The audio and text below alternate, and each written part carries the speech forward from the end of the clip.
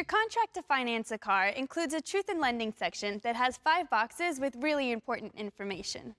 The third box the third box is the amount financed. This number from the itemization section of the contract is the amount you financed, including the price of the car, taxes and or fees, and optional add-ons like extended warranty, minus any trade, rebate, and cash down payment. Oh, good box!